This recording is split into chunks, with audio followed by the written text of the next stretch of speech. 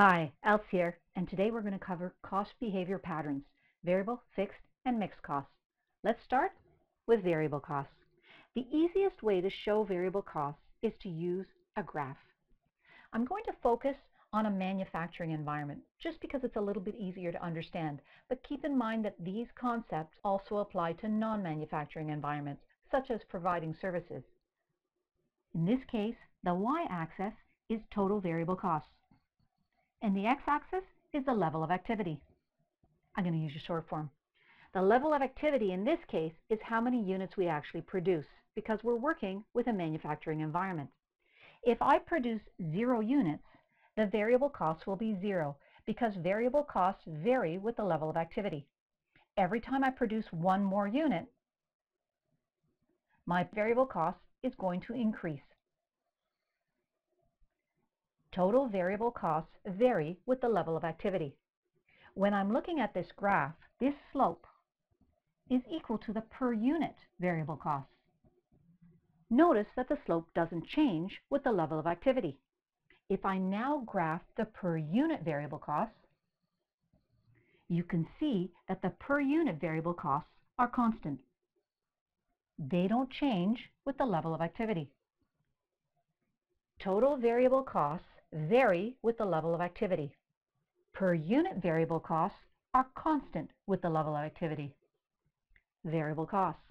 An example of a variable cost would be the direct material that you actually use or consume in order to produce a product. It could also be the amount of labor that has to be consumed in order to produce one unit of product. Both of these are variable costs because if we produce no units, we're not going to use any direct materials and we're not going to use any labor. Let's move on to fixed costs. Again, we're going to use a graph in order to demonstrate this and we're using a manufacturing environment. The x-axis is still level of activity, but the y-axis is total fixed costs. Regardless of our level of activity, even if we're producing zero, the fixed costs are still going to be incurred. Our fixed costs are constant regardless of the level of activity. What if we look at per unit fixed costs?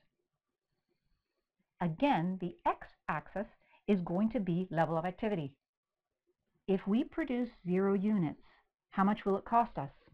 We can see from our total fixed cost graph that it's still going to cost us money. Let's assume $100,000. So even if I produce zero units, it's going to cost me $100,000. What if I produce one unit? It's still going to cost me $100,000. What if I produce two units? If I produce two units, it's only going to cost me $50,000 per unit. $100,000 divided by two units is going to be equal to $50,000 per unit. What if I produce four units? $100,000 divided by four units is going to equal $25,000 per unit.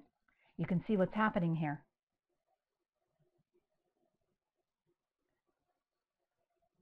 Our per unit fixed cost is an exponential. Every time we produce additional units, it's going to decrease the cost per unit. Fixed costs per unit vary with the level of activity. However, total fixed costs are constant regardless of the level of activity. Going back to variable costs, per unit variable costs are constant regardless of the level of activity, whereas Total variable costs vary with the level of activity. Is this always true? That depends on the relevant range. And that's a concept that I'll cover in my next video.